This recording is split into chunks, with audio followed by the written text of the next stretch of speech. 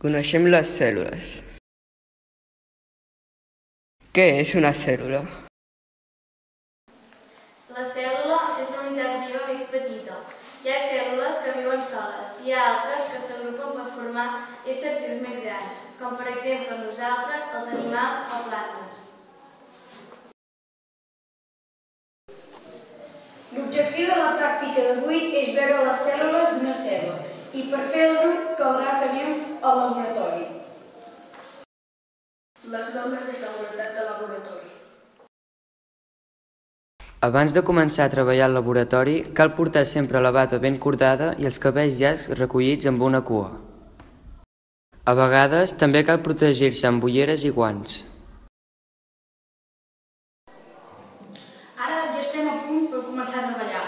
Com que les cèl·lules són molt petites, per veure-les necessitarem un microscopi òptic.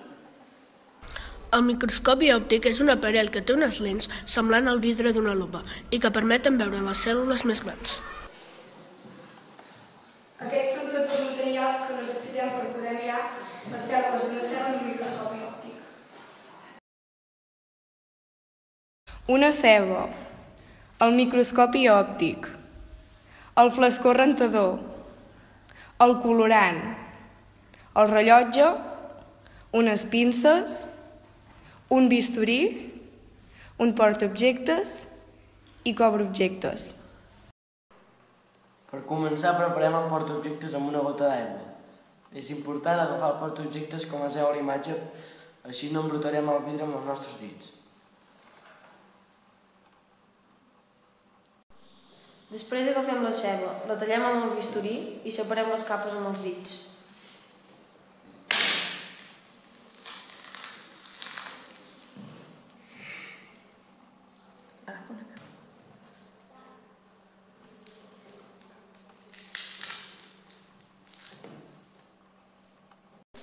Amb les pinces separem un trosset del talc transparent que hi ha entre les capes de la ceba. Ha de ser un trosset molt petit i l'hem de posar damunt de la gota d'aigua vigilant que ens quedi ben pla.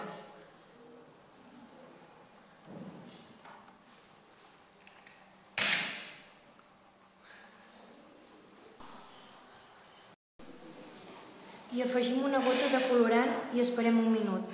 El colorant tenyirà les cèl·lules i així les veurem més fàcilment.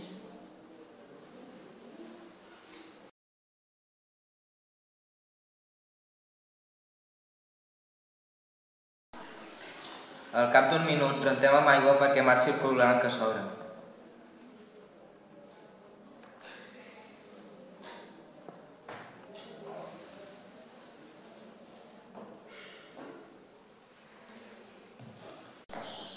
Col·loquem el cobreobjectes al damunt de la mostra, mirant que no hi quedin bombolles d'aire, i aixuguem l'aigua que s'obre pels costats. Per preparar el microscopi òptic cal endollar-lo a la corrent i encendre el llum.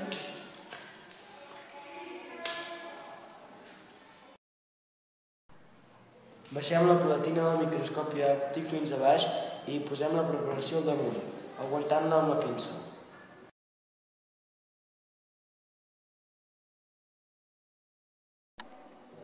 Pugem la platina fins a dalt de tot, a poc a poc, i mirem per no tocar la mostra amb l'objectiu, perquè es podria trencar.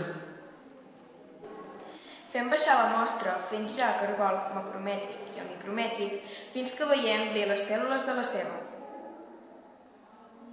La imatge de l'esquerra és com veurem la cèl·lula tenyida i la imatge de la dreta és com hauríem vist la cèl·lula si no l'haguéssim tenyit. Després de fer la feina, toca recollir-ho tot. Per fer-ho, apaguem el llum del microscopi òptic i el desendollem. També rentarem la resta del material que hem utilitzat.